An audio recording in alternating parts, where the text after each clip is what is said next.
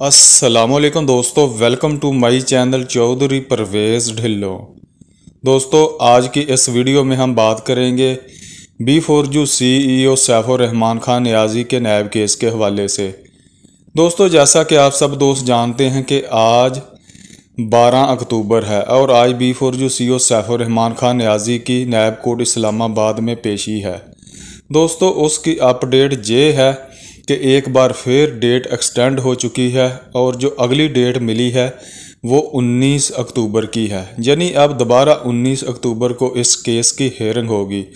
दोस्तों, इस केस की मुकम्मल तफसीलात अभी तक सामने नहीं आ सकी कि डेट एक्सटेंड क्यों हुई है।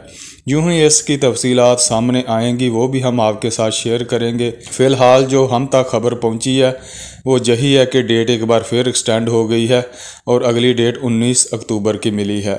दोस्तों, अब इस केस में जो डेट मिल रही है, वो तकरीबन एक हफ़्ते के गैप से मिल रही है। ऐसे लग रहा है कि ये केस अब जल्द ही मंथ की अंजाम तक पहुँच जाएगा और इस केस का फ़ैसला हो जाएगा।